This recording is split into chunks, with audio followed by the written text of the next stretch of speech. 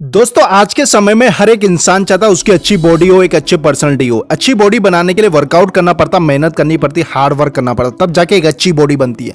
साथ ही साथ आपको नॉलेज होना चाहिए डाइट का न्यूट्रिशन का, तभी जाके आपकी अच्छी बॉडी बन पाती है। अगर आपको सही नॉलेज हो तो आपका बॉडी का ग्रोथ जल्दी होता। है फ्रेंड्स आपको पता है वर्कआउट करने से पहले प्री वर्कआउट सप्लीमेंट लोग लेते हैं। क्यों लेते हैं? क्योंकि इससे आपको इंस्टेंट एनर्जी मिलती है, ज़्यादा रेपिटेशन मार पाते हैं हैवी वेट उठा पाते हैं। तो फ्रेंड्स आज के इस वीडियो में मैं बताऊँगा टेन फूड्स जो आपको हाई एनर्जी देते हैं वर्कआउट के लिए। तो फ्रेंड्स ये जो फ़ूड मैं बता रहा हूँ, आपको वर्कआउट करने से आधा घंटे पहले लेना है या एक घंटे पहले लेना है तो आपको एनर्जी मिलेगी वर्कआउट के लिए। आप मिनिमम आधा घंटा पहले लीजिए तो आपको एनर्जी मिलेगी वर्कआउट के लिए। तो बात करते हैं, कौन सा फ़ूड है? चलिए, पहले स्टार्ट करते हैं ग्रीन टी से। फ्रेंड्स आपको पता है ग्रीन टी के काफ़ी ज़्यादा फ़ायदा होते हैं, और ये, इससे हमें इंस्टेंट एनर्जी मिलती है वर्कआउट के लिए। अब बात करते हैं फ्रेंड दूसरा फ़ूड के बारे में। आपको पता है ग्रीक योगर्ट इसमें प्रोटीन पाया जाता है, ग्लूकोज पाया जाता है, जो हमें एनर्जी देता है वर्कआउट के लिए। तो फ्रेंड्स, आप एक कप या आधा कप इसे ले सकते हैं।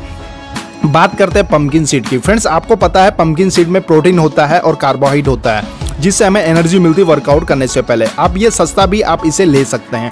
अब बात करते हैं फ्रेंड पानी के बारे में। आप सभी को पता है, हमारा जो शरीर बना होता है वो 60 परसेंट हिस्सा जो है पानी से बना होता है। तो पानी कितना इंपॉर्टेंट हो जाता है वर्कआउट करने से पहले। तो फ्रेंड्स आप पानी का सेवन अच्छे से करिए। अब बात करते हैं फ्रूट्स के बारे में। कोई भी फ्रूट्स लीजिए फ्रेंड्स आप जो है एप्पल ले सकते हैं, केला ले सकते हैं। केला लीजिए, इससे क्या होता है?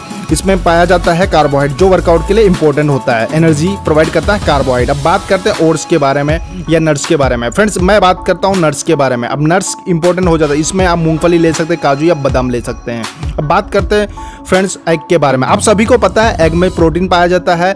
इसमें एमिनो एसिड्स पाए जाते हैं, जो हमें एनर्जी प्रोवाइड करते हैं वर्कआउट के लिए। और आपने देखा बी सी डब्ल्यू में क्या होता है? एमिनो होता है, जिससे एनर्जी मिलती है। अब बात करते हैं फ्रेंड्स पालक के बारे में। अब बात पर, आपको पता होगा कि पालक में पाया जाता है कैरोटीन नाम का विटामिन, जो आपको एनर्जी प्रोवाइड करता है और साथ ही साथ प्रोटीन पाया जाता है। तो आप इसे भी ले सकते हैं या इसका स्मूथी बना सकते हैं। अब बात करते हैं फ्रेंड्स, स्वीट पोटैटो। आपको पता है इसके अंदर कॉम्प्लेक्स कार्बोहाइड्रेट पाया जाता है, जो वर्कआउट के लिए काफ़ी ज़्यादा इंपॉर्टेंट हो जाता है, जिससे हमें इंस्टेंट एनर्जी मिलती है।